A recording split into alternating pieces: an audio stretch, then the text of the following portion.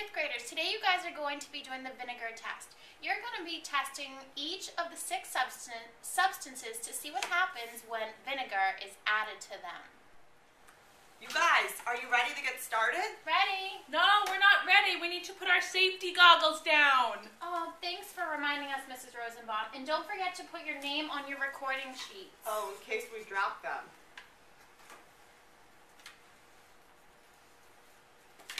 Which substance do you want to test first, Mrs. Rosenbaum? Hmm, I think we should start with the salt, the substance with the white dot. Do you guys have a prediction of what might happen when we when we put vinegar and salt? Hmm. Kids, do you have a prediction of what might happen when the vinegar is added to the salt?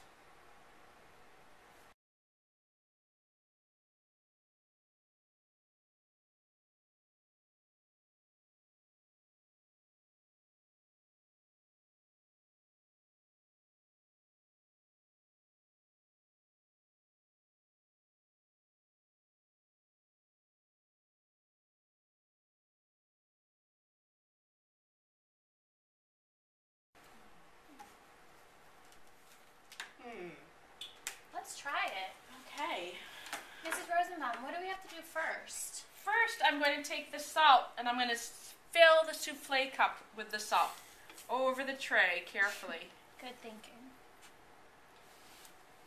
Let's share responsibilities. All right, Mrs. Bowers, would you like to pour the salt into the plastic cup? Oh, over the tray.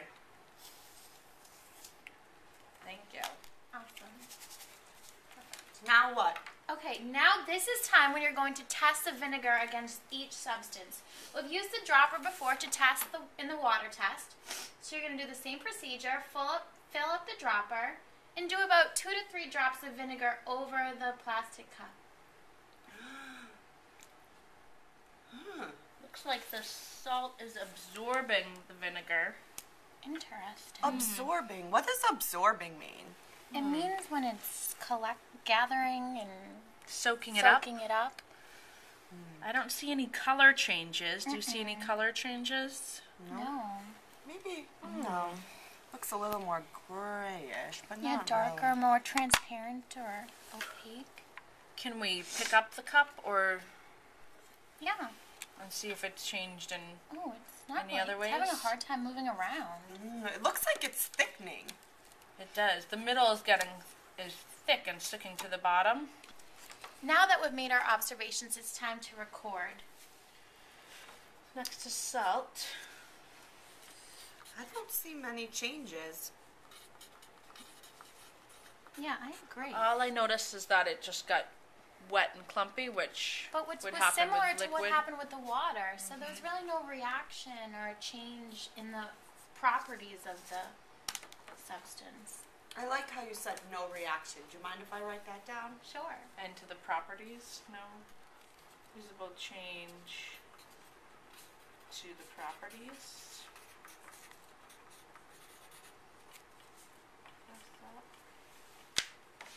And so, group, for the next five substances, we're going to be following the next, the same procedure that we did for the salt.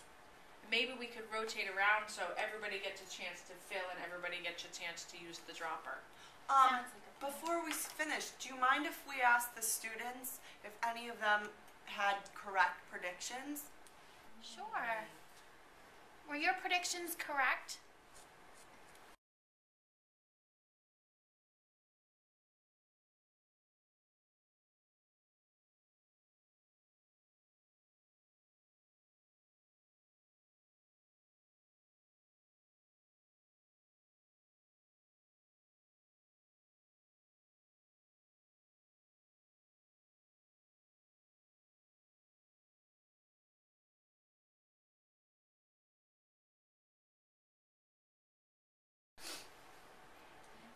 Reactions happen when two substances are combined together and they exchange elements to produce a new chemical makeup.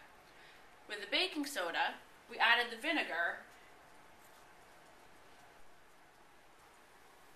and we saw a reaction of bubbles. The bubbles are the carbon dioxide being released into the air. We can't get the carbon dioxide back again, So it's created a new chemical substance. Carbon dioxide is one of them, and the baking soda and vinegar is the other. Another example is if you bake a cake and you add all of those ingredients together and put it in the oven. Okay? That reaction, you can never get your original substances back again. They created a new chemical makeup. to our book, scientists call a substance an indicator if it, in the, if it shows in, the, in an observable way that another particular substance is present or absent. So in this particular experiment, experiment, vinegar was an indicator for baking soda because when it hit the baking soda, it fizzed.